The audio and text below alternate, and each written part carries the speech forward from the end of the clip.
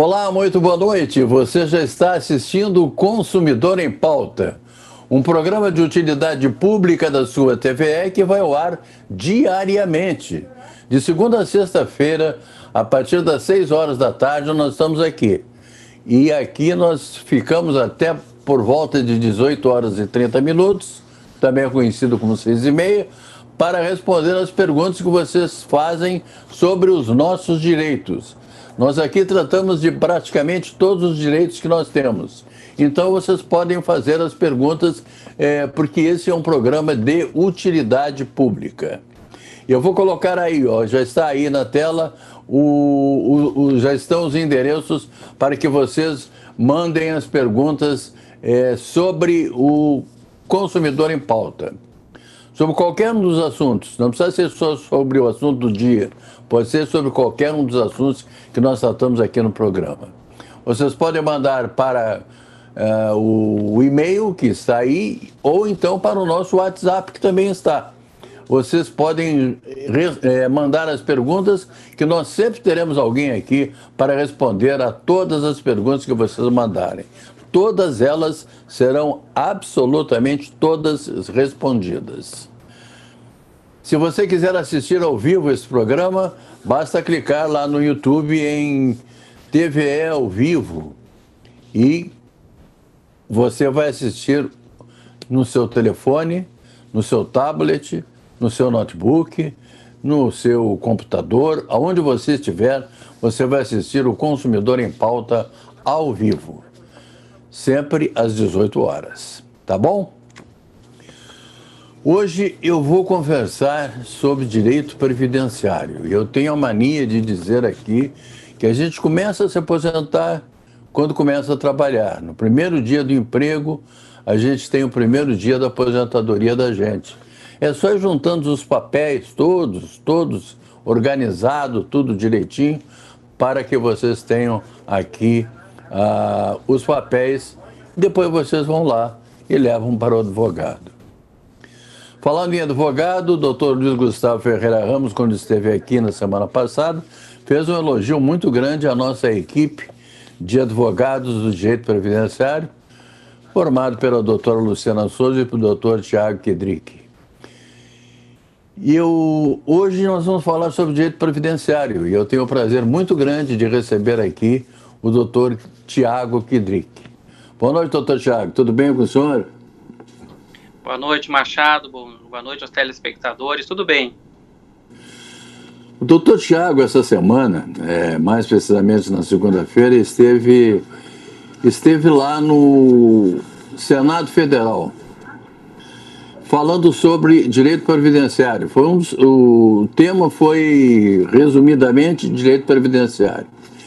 E o doutor Tiago, então, eu lhe pediria, doutor Tiago, que o senhor fizesse aqui o favor de dar uma em pinceladas não muito longas e também não muito rápidas sobre a sua palestra lá no Senado. Certo, Machado. Inicialmente quero retribuir aí o elogio do Dr. Luiz Gustavo Ferreira Ramos, que é um grande advogado, uma pessoa que admiro muito, que é que trabalha na nossa Comissão de Seguridade Social aí coordenando a atuação judicial, né? É uma pessoa extremamente inteligente e eu só tenho a agradecer a colaboração do Dr. Luiz Gustavo, os elogios, ainda mais vindo da uma pessoa com a inteligência e o know-how dele. Em relação ao Senado Federal, realmente fui convidado pela mesa diretora do Senado. No dia 20 de setembro estive na sessão temática que debate eh, o PL 3914, que trata das perícias médicas judiciais. E esse PL, é, a OAB tem uma posição contrária, a advocacia está mobilizada contra os termos que foram adicionados no curso da tramitação desse, desse PL, que transfere ao trabalhador, ao segurado, o custo do pagamento da perícia médica. Além de ter a justiça gratuita, o cidadão deferida pelo, pelo juiz, o que significa que o juiz reconhece que ele não pode pagar, o cidadão vai ter que provar que está em estado de miserabilidade, ou seja, receber menos de até meio salário mínimo ou juntando toda a família, no máximo três salários mínimos, para ter a isenção desse custo. Então, nós estamos contra, nós estamos uh, denunciando este PL, por isso fomos ao Senado Federal e temos a esperança do nosso relator da matéria, que é o senador Luiz Carlos Reis, a adequar o projeto ao pedido da OAB. Além deste, é, digamos assim, desta limitação à, à, justiça gratuita que foi incluída no PL, nós temos outras, outros obstáculos para que o segurado venha a ter o processo do benefício por incapacidade, seja auxílio-doença, aposentadoria por invalidez. Por exemplo, eles estão incluindo no, no PL que tem que se recorrer na via administrativa para poder postular esse tipo de, de, pedido judicial, além de vários requisitos da petição inicial, difíceis para o segurado, inclusive para o segurado empregado, ter, tem que ter um relatório do empregador sobre suas atividades, sob pena de extinção do processo, então tudo para dificultar o contribuinte previdenciário, o segurado, de ingressar com a ação em se tratando de benefícios por incapacidade. Estamos aí uh, na luta neste momento, pelo menos no momento que estamos fazendo essa declaração, para que seja adequado este PL, uh, a fim de que o segurado não seja prejudicado. o senhor voltou do Senado Federal esperançoso de que as coisas realmente aconteçam para que seja melhor para os aposentados ou não? Voltei com esperança. Acho que nossa participação foi colocou muita dúvida é, em parlamentares que estavam em vias de, de aprovar o projeto. Tivemos uma declaração do senador Lazia Martins que vai votar contra o projeto se tiver com esse texto. Senador Paulo Paim está contra a, a redação desse texto.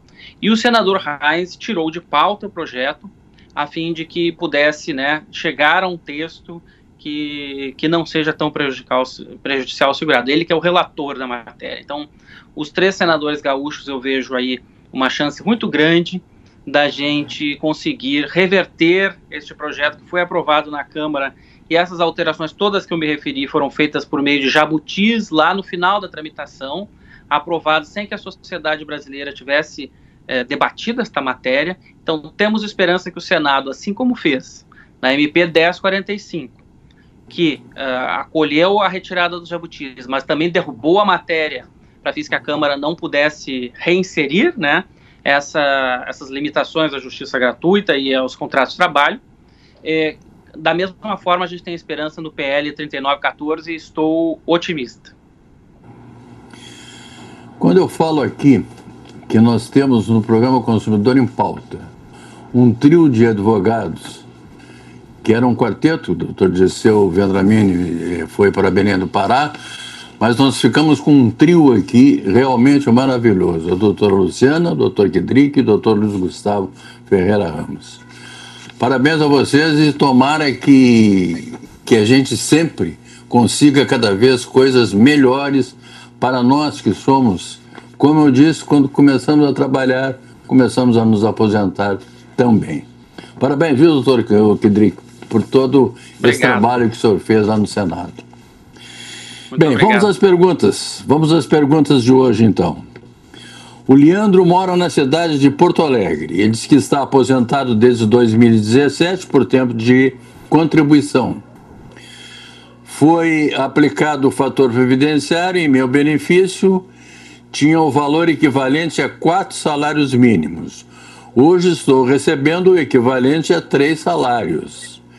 Quero saber se teria sucesso é, caso processe o INSS para recuperar minhas perdas. Certo, Leandro e demais o, telespectadores que estão nessa situação da defasagem é, do seu vencimento, do seu benefício em relação ao salário mínimo. Nós, advogados, nós tentamos, é, há muitos anos atrás, com este fundamento, levar ao Supremo Tribunal Federal esta perda dos segurados em relação ao salário mínimo para que fosse recomposta. O Supremo Tribunal Federal decidiu que eh, o salário mínimo e os benefícios previdenciários correm rios diferentes, correm caminhos diferentes. Portanto, com e, já decidiu essa matéria.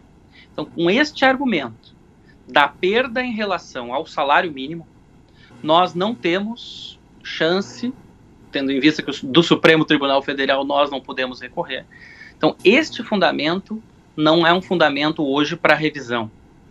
Teria que analisar seu caso, senhor Leandro, eh, ver outras possibilidades. O fator previdenciário foi julgado também pelo Supremo Tribunal Federal como constitucional, esta regra que foi introduzida lá no final dos anos 90 no nosso ordenamento jurídico. Então, a existência do fator também não, não, não é possível de ser descartado assim.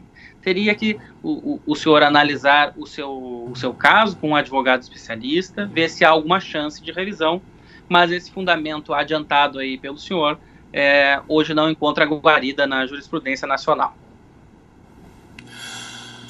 Agora a pergunta é da cidade de Gravataí, quem nos manda o senhor Hélio. Ele diz o seguinte: Eu gostaria de saber o que significa baixado agravo de instrumento. Estou esperando os atrasados da minha aposentadoria. Isso aí tem alguma coisa a ver com as perguntas do seu Hélio, doutor Tiago? Quando é, ele, eu acho que ele está olhando, né, o, o agra, um agravo de instrumento que tem no processo dele.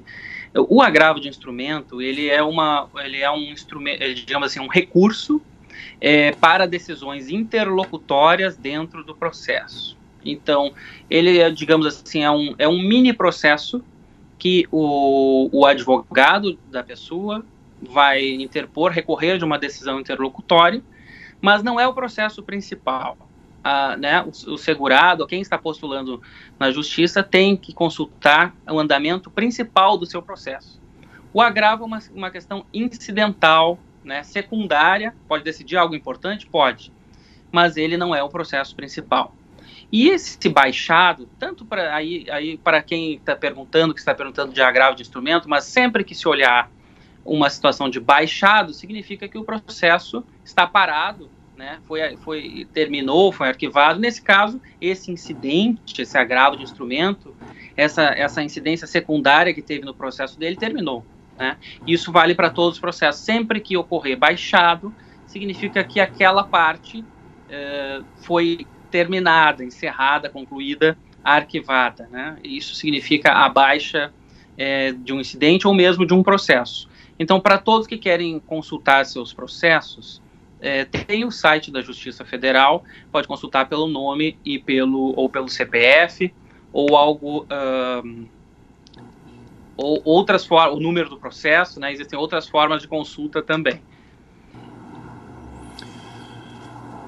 Doutor Tiago, nós vamos fazer o seguinte: nós vamos fazer um pequeno intervalo, mas o nosso intervalo aqui é bem rapidinho. É só o tempo de o senhor tomar um golinho d'água, tá? A gente vai e volta. O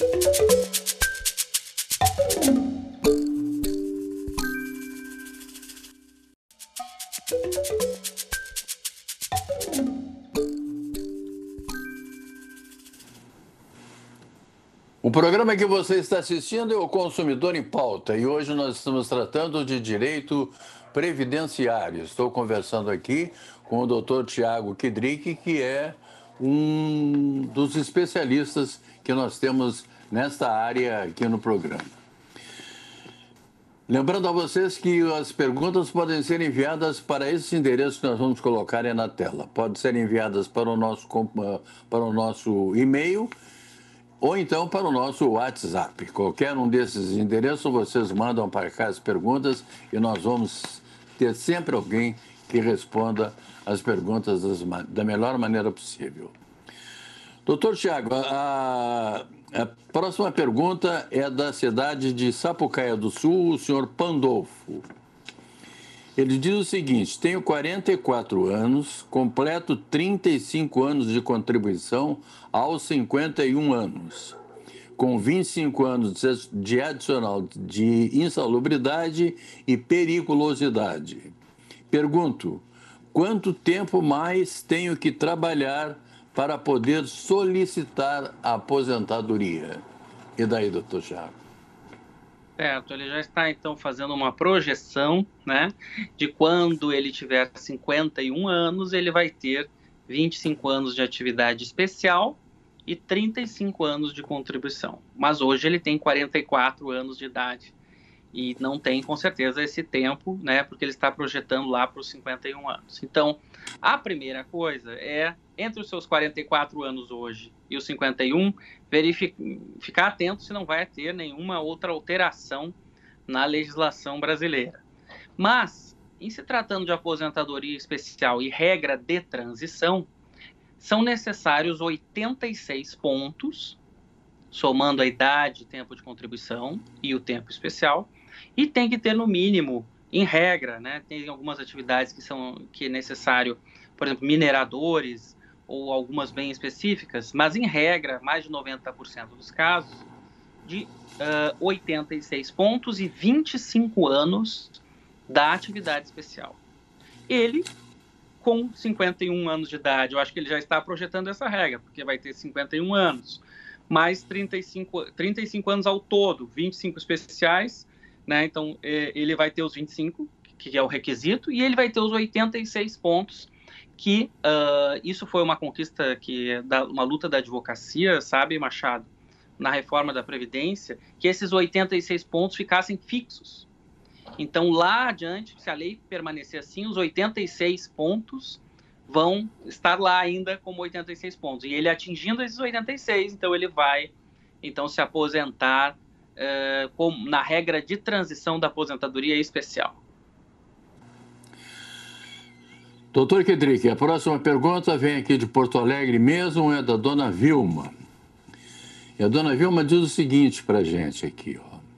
Trabalho desde 1986 com carteira assinada, mas existem algumas lacunas quando fiquei desempregada. No total, devo ter uns 22 ou 23 anos de contribuição ao INSS. Tenho 50 anos de idade e gostaria de saber se existe alguma regra de transição, no meu caso, para me aposentar e como seria. Também gostaria de saber se, como balconista de farmácia, tenho direito à insalubridade, uma vez que atendo pessoas doentes. E daí, doutor Kidrick? Certo. Nós temos aí algumas regras de transição que podem ser feitas projeções do caso dela. Nós temos um caso em que ela diz que teve é, falhas nas contribuições. Então, o meu conselho para a dona Vilma e para todos que estão numa situação parecida é sempre fazer o planejamento previdenciário com um profissional especializado para ver qual regra de transição vale a pena, para ver quanto vai pagar nesta para preencher essas lacunas, para se, se é que vai pagar ou não. Então tem que fazer um estudo pormenorizado para ver qual das regras de transição, qual o caminho, qual a estratégia, né, dona Vilma? Não é algo simples assim de ser dito. Então procure um profissional especializado na matéria para fazer o planejamento previdenciário e ver qual dessas regras de transição, essas quatro regras de transição que existem substituindo a aposentadoria por tempo de contribuição, que foi extinta na reforma da Previdência, mas ainda persiste, persistem as regras de transição, é, sempre com 30 anos mínimos de contribuição para a mulher em cada uma das regras. Então, a senhora também ainda não tem isso, teria que fazer essa projeção e esse estudo. Segunda pergunta dela, então, é a questão que já está desaguando bastante no Poder Judiciário, e nós temos aí decisões trabalhistas reconhecendo insalubridade para balconista de farmácia, mas nós temos uh, uma, uma briga na jurisprudência previdenciária sobre o balconista de farmácia quanto à especialidade. Algumas decisões contrárias, porque na questão do tempo, tempo ser especial é necessária permanência e habitualidade de uma condição perigosa, insalubre ou penosa. E nós temos aí visto pessoas que não têm conseguido comprovar, por exemplo, a frequência da atividade de, de aplicação de, de vacina, vacinas, não, injeções e outras uh, situações que poderiam ensejar, sim, o requisito da especialidade. Então, é uma questão que está sendo uh, brigada, disputada na justiça, controvertida, não há, não há como eu lhe dizer assim hoje que vai ser uh, uma resposta certa se vai ser considerado especial esse tempo ou não. Mas também tem que ver as especificidades da sua atividade lá na farmácia, a, o volume de pessoas, etc e tal, talvez fazer um laudo. Enfim, eu lhe, lhe aconselho levar todo este planejamento, inclusive da especialidade, das provas que precisam e do seu planejamento normal de previdência, para um advogado especializado fazer uma estratégia para você. Próxima pergunta, doutor Kedrick, é do, do Jairo, aqui de Porto Alegre. Ele diz o seguinte: tenho 61 anos de idade e 33 anos de contribuição. Trabalhei em posto de gasolina por oito anos na carteira e mais 10 anos como sócio. Posso contar como tempo de periculosidade? É aconselhável solicitar aposentadoria direto é, no INSS ou contratar um advogado? E ele quer saber se ele pode pedir aposentadoria, doutor Kedrick. Certo. Ele tem 33 anos de contribuição, é, mas com esse tempo especial, ele vai de, de posto de gasolina que ele ficou como frentista, oito anos ali direto nas bombas, né? É uma atividade especial, basta comprovar, porque ali realmente há um risco, um risco de explosão, há uma questão também de salubridade. Ele precisa saber também a questão de qual regra de transição ele vai se inserir, porque ele na, isso depende de quanto tempo ele tinha na da, em novembro de 2019, na data da reforma da Previdência, para ver os pedágios, para ver as regras de transição. Então, isso precisa ser calculado de uma forma mais pormenorizada, mas ele pare, aparentemente está bem próximo ou já fechou o tempo é, para aposentadoria, se considerar esse tempo, de, esses oito anos, como especial, que são né, é, frentistas. Os de sócio dependem dele comprovar que ele estava na bomba, né, que ele estava trabalhando, uh, porque tem gente que, por exemplo, mecânico, dono de uma é, de uma oficina mecânica que está lá com contato permanente com óleo, não importa que ele é o dono, mas se ele está na atividade especial é o que importa. Se ele está se sujeitando a sua saúde a essas condições nocivas. Isso é o que é importante. Então, esses 10 anos de sócio, ele não informa se ele estava né, na frente de batalha ou não. Em relação à segunda pergunta, doutor Tiago, o que, que o senhor tem a dizer para o, para o nosso telespectador? Certo, aconselho, ainda mais se tratando de tempo especial, que é necessária a verificação da prova, requisitos bem complexos, aconselho sim a ser acompanhado do advogado. Na verdade, esse meu, esse meu conselho é, vale para todos os segurados que querem encaminhar a sua aposentadoria com mais tranquilidade, mas em se tratando de tempo especial, né, tempo insalubre, perigoso ou penoso, é sempre mais aconselhável ainda que seja assessorado por um advogado, principalmente pela questão da prova. A pergunta é também da cidade de Sapucaia do Sul. É, quem mora lá é o senhor Jefferson e ele pergunta o seguinte: Tenho 42 anos de idade e há 22 anos trabalho praticamente o dia todo numa câmera fria. Pergunto se posso pedir aposentadoria por tempo de contribuição especial. Pode, doutor Tiago? Olha, câmera frio é um dos requisitos, né, para se considerar um tempo especial. O frio prejudica a saúde, né? Trabalho em câmara fria é atividade especial, sim. Porém, tem os outros requisitos da aposentadoria especial, que agora nós estamos na nova previdência e ele ainda é, não fechou, né, te, o, o tempo e agora a regra geral é 60 anos de idade para esse tipo de aposentadoria né, especial, Câmara Fria 25 anos de contribuição comprovadamente especiais e 60 anos de idade, ou a regra de transição, que aí ele vai ter que somar para aposentadoria especial 86 pontos, somando a sua idade e tempo de contribuição. Tem a pergunta agora do senhor Maurício, que mora aqui em Porto Alegre. Ele diz que está com 57 anos de idade e contribui para o INSS faz 25 anos. Em setembro do ano passado, ele colocou quatro pontes de safena e uma mamária. Pergunta se é possível é, pedir aposentadoria por invalidez, já que não consigo mais trabalhar. É possível, doutor Kedrick? Nessas condições, não podendo mais trabalhar, é possível pedir aposentadoria por invalidez. Ele, ele está contribuindo para o INSS. O único problema que dá muitas vezes na aposentadoria por invalidez é quando a pessoa está muito tempo sem pagar o INSS e perde a qualidade de segurado.